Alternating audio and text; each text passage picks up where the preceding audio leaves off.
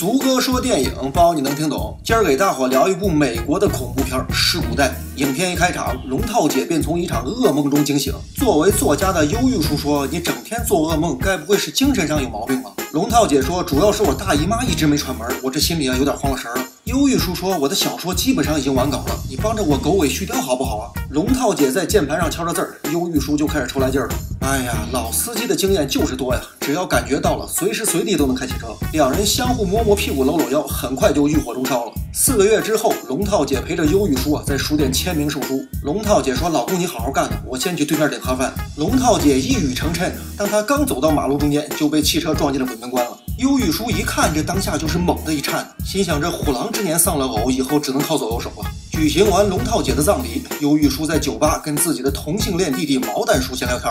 忧郁叔说：“龙套姐死的时候已经怀了孕了。”毛蛋叔说：“医生不是已经给你下了结论了吗？说你麾下那些士兵啊都是老弱病残，想要孩子比登天都难。”忧郁叔说：“保不齐有那么一位过五关斩六将，就稀里糊涂怀上了呢。可有一点我一直想不通，这件事他为什么没跟我说一声呢？龙套姐虽然死了，但她的鬼魂一直不消停，整天给忧郁叔托噩梦，把忧郁叔折腾的差点真的就得了抑郁症。忧郁叔看着龙套姐的照片说：‘你的鬼魂这会儿是不是在老家的别墅？’是就响一声，不是就响两声。很快，龙套姐的鬼魂就发功，让忧郁叔的手机响了一声。忧郁叔一听就是一惊啊，心想这种贴身监控可太要命了，以后就算有什么想法也没法弄。为了跟龙套姐的鬼魂一起住啊，忧郁叔便开着车来到了老家的别墅。忧郁叔在别墅里啊，看到了一幅歌手酱油妹性感的画像。他知道这种情况啊，也没法开汽车，也只能用手摸一摸。接下来，忧郁叔便开始写小说了。由于脑子里一片空白啊，虽然酒喝了不少，可一个字也写不出来。第二天一早，忧郁叔在跑步的时候看到了一棵长得像女人的树，他又用手摸了摸，意识到还是没法开汽车。回到家之后，忧郁叔通过冰箱上的字儿和路头上的小铃铛，发现了龙套姐存在的迹象。虽然没法再跟龙套姐滚床单了，但重感情的忧郁叔还是乐开了花了。转场之后，忧郁叔在开车去镇上买汉堡的时候，看到一个小萝莉正在马路上瞎胡跑。这个时候，一辆汽车疾驰而过，忧郁叔一个箭步才避免了一起车祸。小萝莉的妈咪金发妹说：“大哥，你可真牛逼啊，特像军情六处的零零七。”忧郁叔说：“大妹子，你也挺神的，居然能在游轮上一遍一遍的杀人。”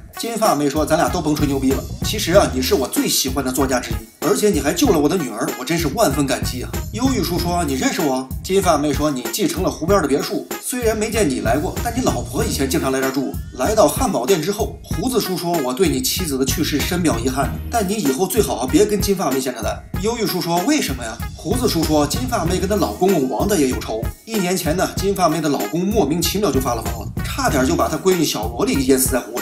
金发妹为了救女儿啊，砰的一枪就送她老公去西天取真经了。王大爷六十岁才生了这个大胖小，你想他心情能好得了吗？于是便雇佣了最好的律师团，打算争夺小萝莉的抚养权。忧郁叔回到家之后，便接到了王大爷的电话。王大爷说：“今儿可是有人看到你跟我儿媳妇眉来眼去，暗送酒窝，你是不是打算跟他开汽车？”忧郁叔说：“我跟金发妹是萍水相逢，还没产生感情，怎么可能呢？”王大爷说：“你死了老婆，他死了老公，干柴烈火，你觉得你还说得清吗？”忧郁叔一听这老王八越说越不像话了，一气之下就把电话给挂了。到了晚上，警长突然送来了传票，说王大爷把你和金发妹给告了。王大爷不仅有钱，还是出了名的恶棍，你跟他斗，我看你是不想混了。警长走了之后，忧郁叔在冰箱门上啊看到了龙套姐的留言。龙套姐说：“王大爷是个大豺狼啊，你得帮帮金发妹的忙。”忧郁叔睡觉的时候啊做了一春梦，他梦见自己先是跟酱油妹腻了一会儿，然后又分别跟龙套姐和金发妹亲了嘴儿。逛夜店遇见董小宛，这艳福可是真不浅呐。通过和王大爷争夺小萝莉抚养权的过程，忧郁叔和金发妹渐渐产生了感情，两人谈人生聊文学，气氛是越来越和谐。转场之后，当忧郁叔正在写作的时候，突然就产生了幻觉。清洁工胖大婶说：“大兄弟啊，我看你表情奇怪，脸色黄，当心染上达斯克湖式的疯狂啊！”忧郁叔说：“啥是达斯克湖式的疯狂啊？染上这种病都有什么举动啊？”随着胖大婶的讲述，影片开始闪回几个受达斯克湖诅咒的哥们儿的疯狂行为，也不知道是什么鬼，让这几个哥们儿都把自己的女儿溺了水。经过查阅资料，忧郁叔发现，在三十年代，歌手酱油妹在事业巅峰时突然失踪了。第二天一早，忧郁叔在跑步的时候又经过了那棵女人树，女人树一看这孙子又来占自己的便宜，当时就是一肚子的气，心想我要是不给你放点电，你也意识不到自己有多贱。当被电得一阵阵干颤的忧郁叔正站在湖边瞎琢磨的时候，王大爷和他的小蜜突然出现。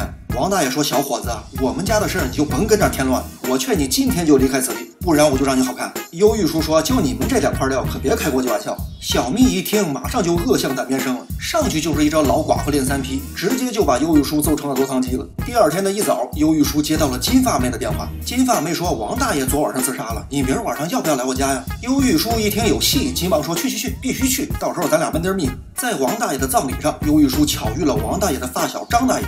通过张大爷的讲述，达斯克湖诅咒的真相终于被揭开了。原来当年歌手酱油妹在小镇上演出的时候，由于表情风骚、举止轻佻，把正处在青春期的王大爷、张大爷和忧郁叔的爷爷等人呢聊扯的是欲火中烧。于是王大爷带着张大爷、忧郁叔的爷爷等人呢，主动提出跟酱油妹约会。这酱油妹也是艺高人胆大，什么都不怕，根本没意识到有危险，居然一个人来到了约会的地点。可当他看到王大爷这帮倒霉孩子一个个面露奸笑，就意识到大事不妙。